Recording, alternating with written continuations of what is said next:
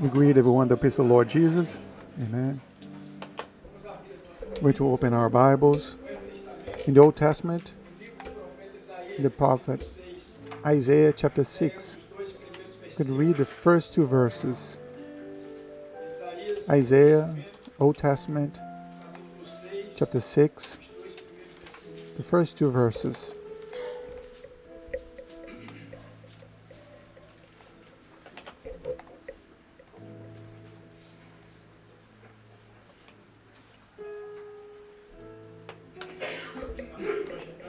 It's showing here on the projection. That's, that's what it says. In the year that King Uzziah died, I saw the Lord sitting on a throne high and lifted up, and the train of his robe filled the temple. Above it stood seraphims. Each one had six wings.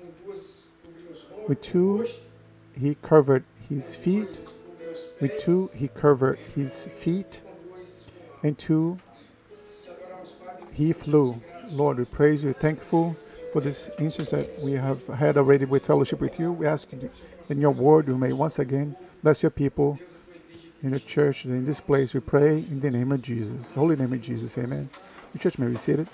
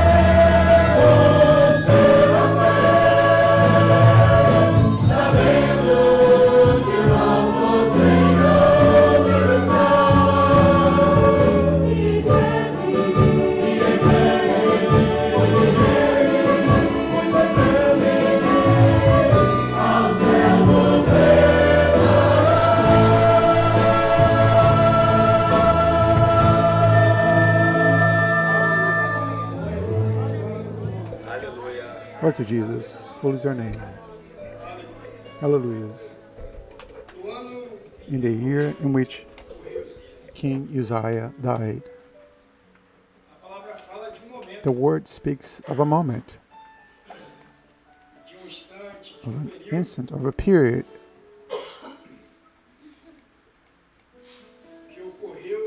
That took place, that happened, so that a man called Isaiah would be able to live a profound experience with his God. But who this king Uzziah was? The word described in the book of Chronicles, chapter 26, even writes regarding him. The word says that Uzziah, he began to reign 16 when he was only 16 years of age. And he reigned for 55 years in Judah and in Jerusalem. Uzziah built a city, called Elad. He was what was righteous to, through, to the eyes of the Lord. Uzziah sought the Lord, and God made him prosper. He edified other cities. The Bible says that. God helped him to fight against the Philistines. The fame of Uzziah went all the way to Egypt. Uzziah built war machines, and God helped him to fight against the Philistines. Uzziah grew stronger, and when he grew stronger, he exalted his own heart. He got corrupted, and he transgressed against the Lord. And when The heart of Uzziah got exalted when arrogance entered into his heart, vanity, the pride.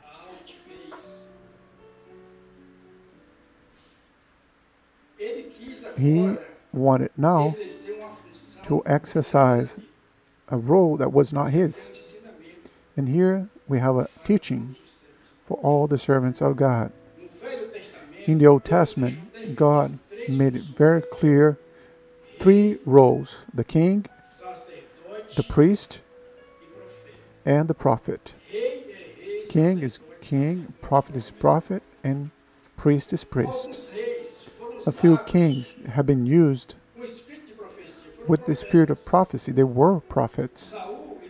King Saul, he prophesied. David also prophesied.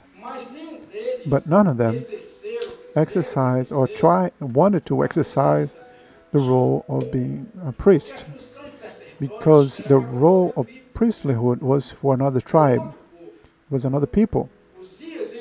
Uzziah was from the tribe of Judah, and the priests are were for the Levite, the descendants of Aaron.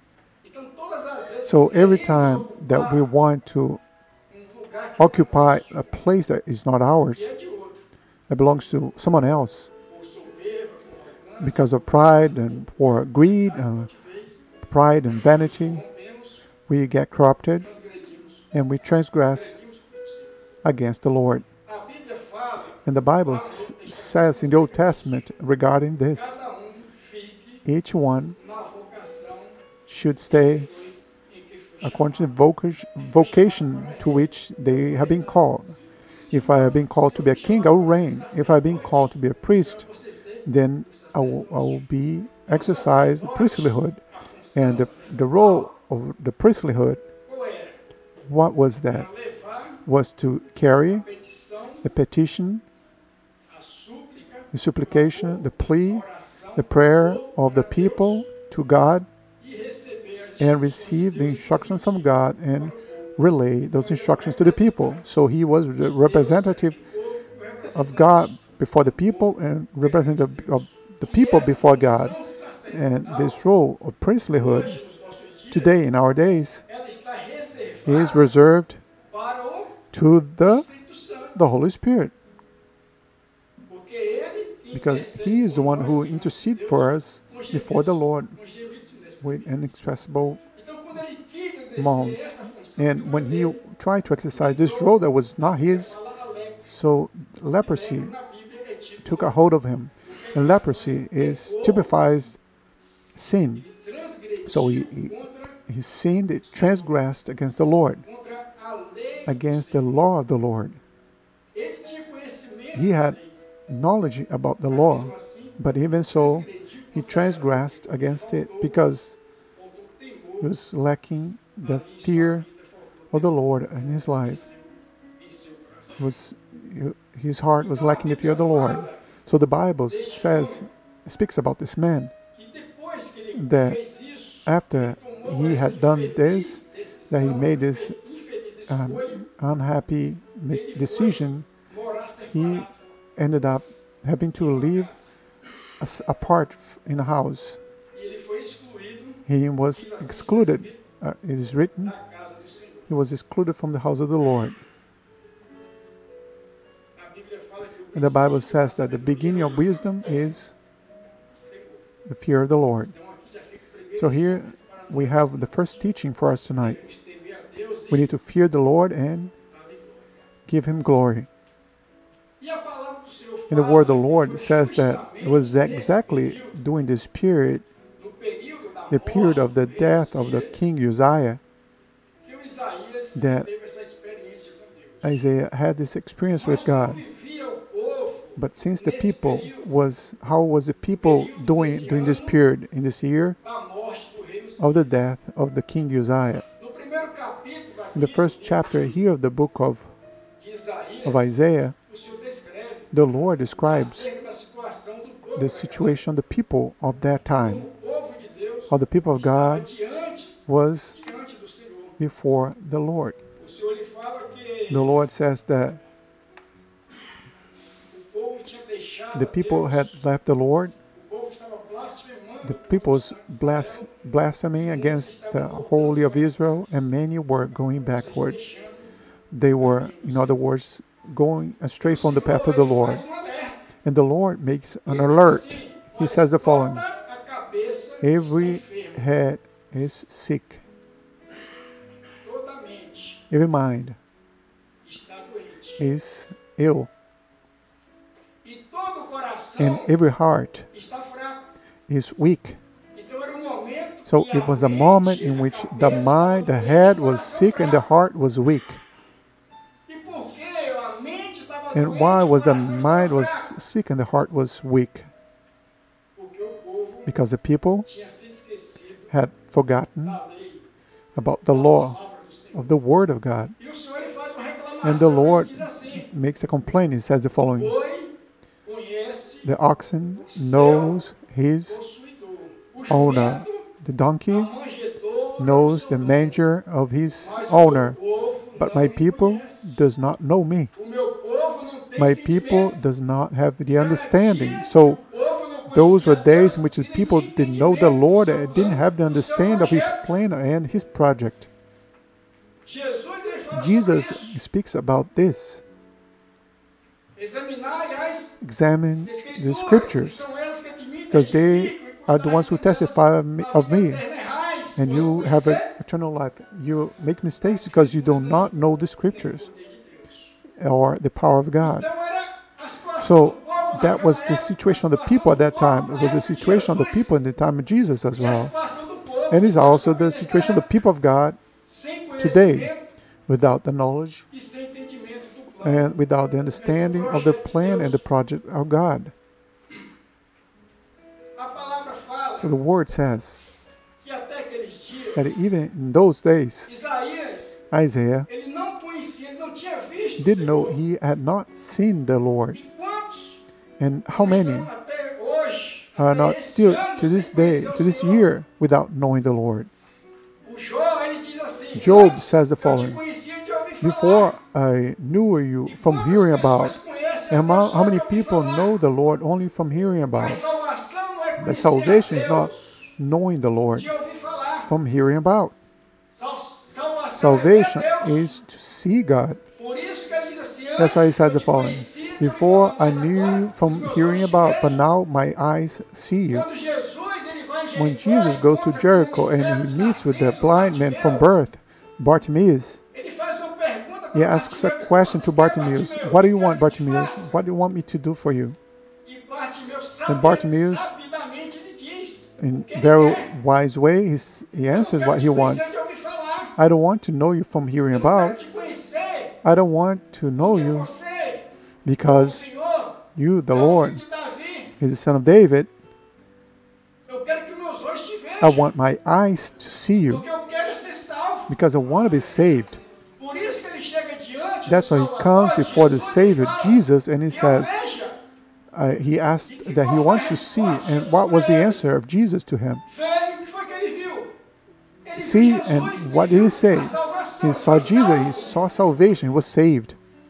O Simeão, senhor de Simeon, idade, a 80 man of old age, was 80 or 82 years of age. I am not sure.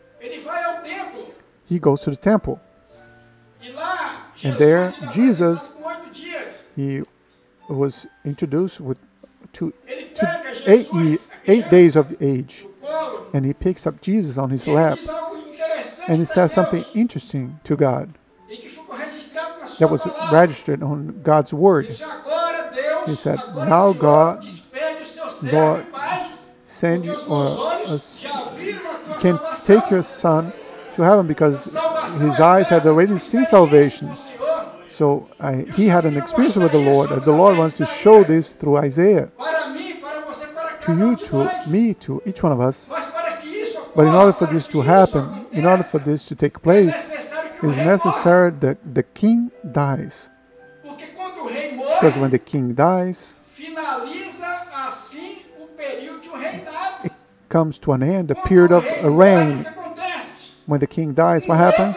Another one takes becomes king. Another one reigns. So it's morrer, necessary for a man to die, Uzziah to die, so that the Lord could reign in the life of Isaiah. And that's what he saw. From that moment, that's what he saw. He saw now another king. Not an earthly king, but a heavenly king. In the year in which King Uzziah died, we sing a song that- that says the following. It says a verse, above a Bible verse. I, uh, I wrote it down. If it is necessary, even uh, heaven, Uh, I will be able to gain. It was necessary for Uzziah, the king, the king of, of Isaiah to die. Necessary, the king to die in my life, in our life, so that the Lord may reign. That's why the Apostle Paul says the following Today I be Cristo, crucified with Christ, and today I no longer live, but Christ lives in me. Blessed be the name of the Lord. Because now the other one is going to reign. Now is a new period, it's a new moment. Because the one who is in Christ is a new creature.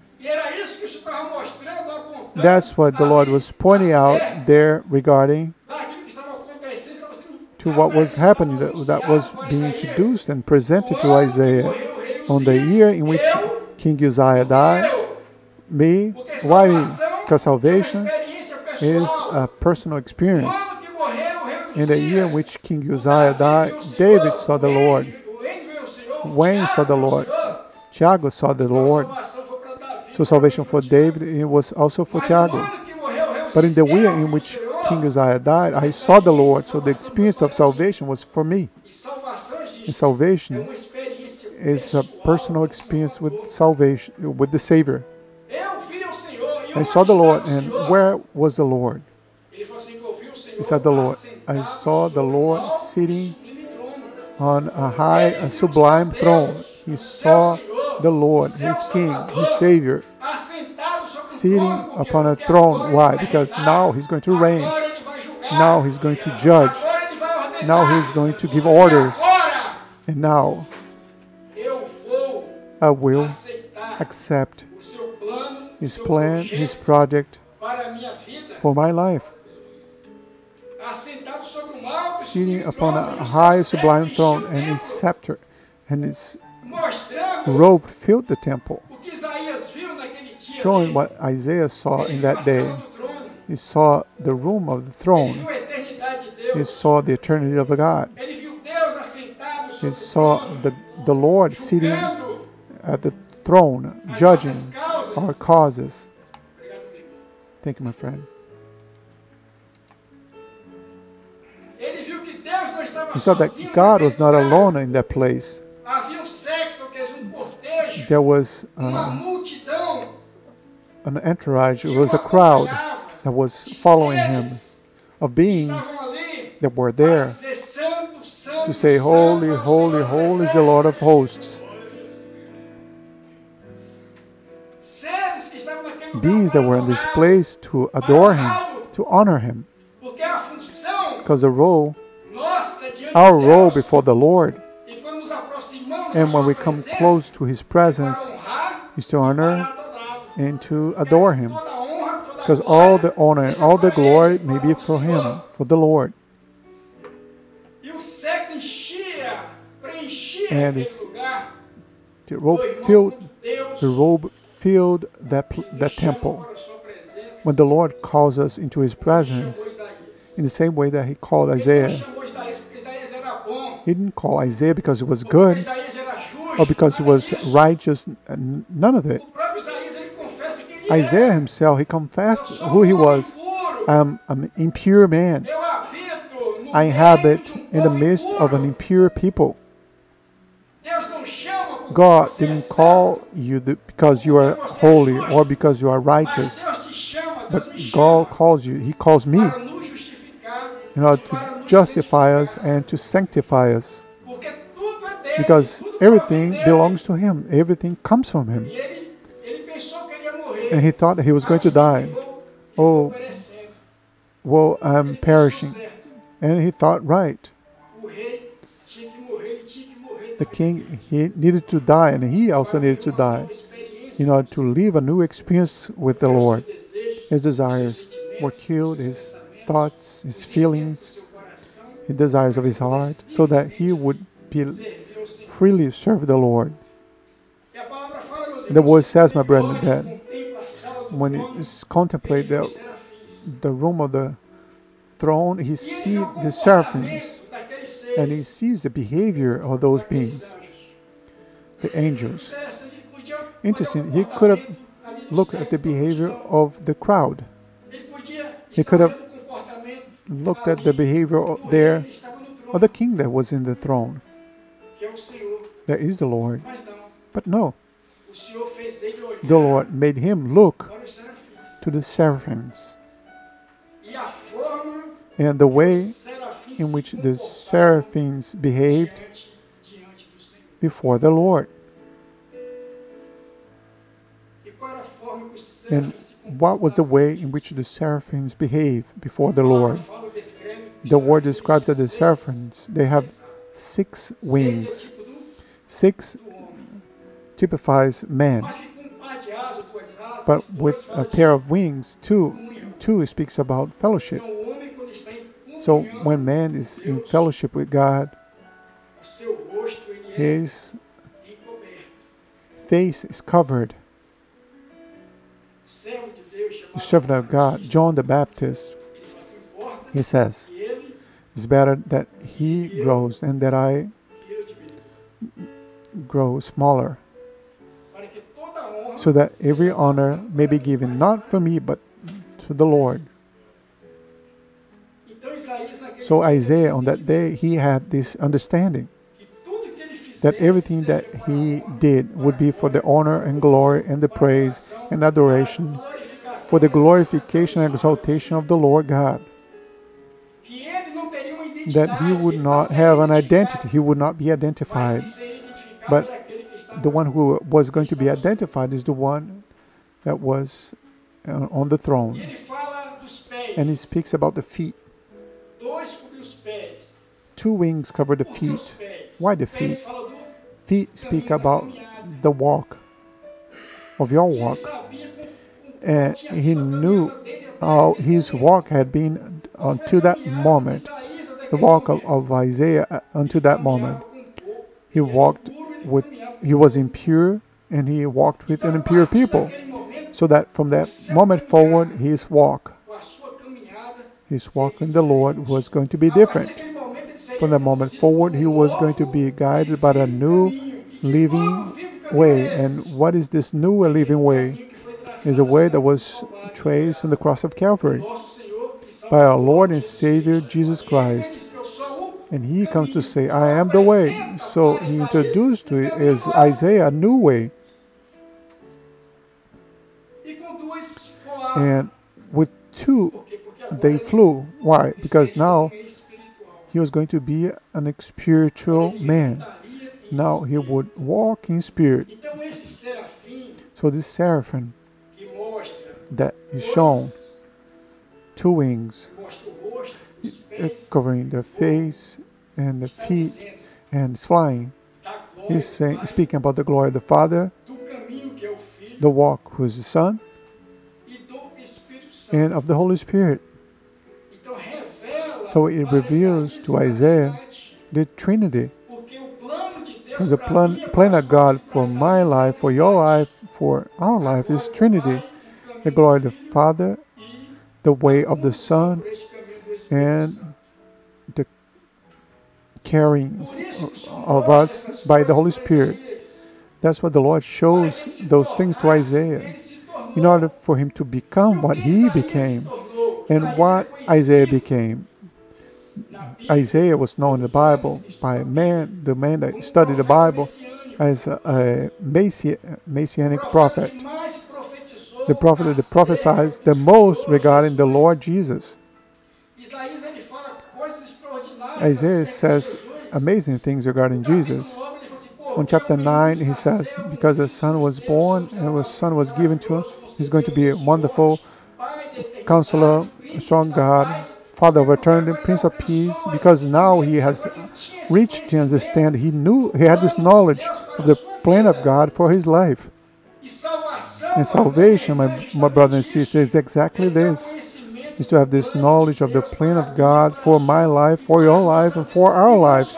And not only to know, not only to discern, but to walk on that path that the Lord has opened up for each one of us. And that's what Isaiah did when he says, and rest upon you the Spirit of the Lord. And it says that the eyes of the blind are going to be opened, and the ears of the deaf are going to also be opened. He prophesied against Jesus, uh, regarding Jesus, because our eyes were going to be open. And our eyes are being opened tonight for the project of God, and our ears are going to be open. So we'll be paying attention to hear and to know the plan, the project of God for our lives. And he speaks about Isaiah, Isaiah 53 that describes exactly this pair of wings on the face that speaks about our God, Lord and Savior Jesus Christ. He came as a man, but manifested through him his, the glory of God, the power of God, the grace of God, the favor of God. The one who carried upon himself, himself our pain, the affliction, it was afflicted and he was oppressed. And when we looked to him, there was no beauty so that we might desire him. So we're showing this, this plan, the aspect of salvation through Christ Jesus. But my brethren, all of this was possible because the king, Uzziah, he died on that year. So do you want salvation? You want to have knowledge of the plan and the project of God for your life? You want to have an understanding? Or do you want to be a part of that people that do not know, that do not have an understanding? Or do you want to know God only from hearing about? Isaiah, there came a moment in the life of Isaiah that he needed to see this, to live this experience. The word says that when the king Uzziah dies, he saw the Lord. Are we willing to do this? To let go the king die in our lives. Jesus, when he goes to preach and people ask him, How am I going to pray? Teach us how to pray. And the Lord taught them. He teaches us how to pray. And he says the following May your will be done, may the will of the Father be done.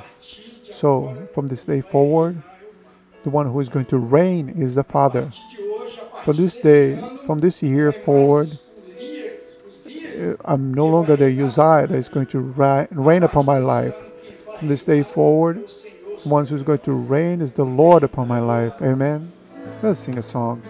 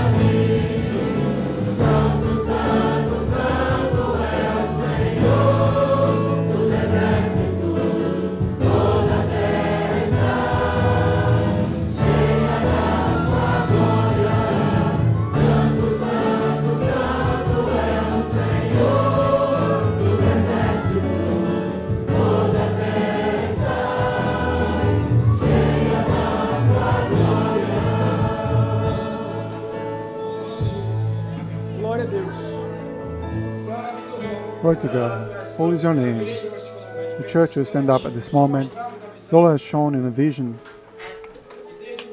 that from the beginning of the service, an uh, angel was positioned at the door of the church. And as we enter into this place, the angel would look to our hands and what we were bringing to the house of the Lord. And podia his ver, brother and sister, they could see that a few brought the word of the Lord with them, and others would bring vessels.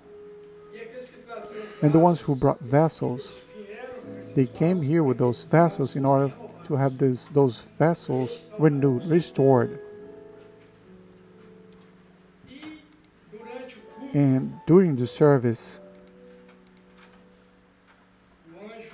the angel would cause us to understand that in order for those vessels to be renewed, restored,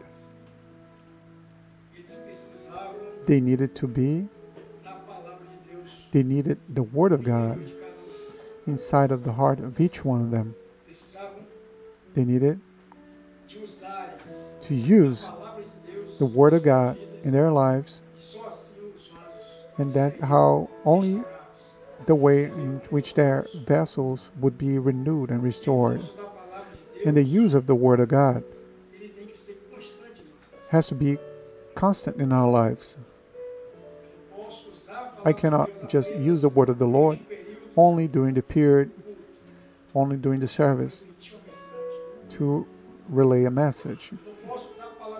I cannot use the Word of God only in my hands, but I try to hide it.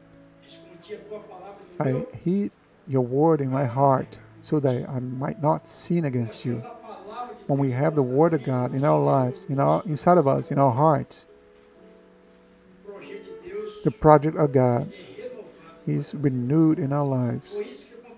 That's what happened with Isaiah. When the king died, when the old understanding vanished from his life, when the other one began begin to reign, then he had a complete understanding of the project God and was used in praise and adoration and glorification to the Lord. Everything that he saw in the heaven of eternity, he was able to do on earth in the midst of his brethren. Holy, holy, holy is the Lord of hosts. And down they were saying, He was holy is the Father, holy is the Son, and holy is the Holy Spirit that He has reserved for each one of us in His eternity. Lord, we thank you because we thank for your grace, for your favor and mercy, for your revelations that we have been able to reach, for your mercy, Lord, that has sanctified us, purified us, and justified us before you, Lord.